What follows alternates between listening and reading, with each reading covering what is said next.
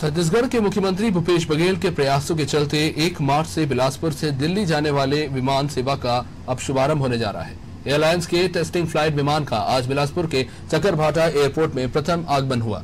मुख्यमंत्री ने कहा कि बिलासपुर एयरपोर्ट के रनवे टेस्टिंग फ़्लाइट का प्रथम आगमन हम सबके लिए हर्ष का विषय है। बिलासपुर के इस एयरपोर्ट को अब बिलासा देवी केवट एयरपोर्ट के नाम से जाना जाएगा।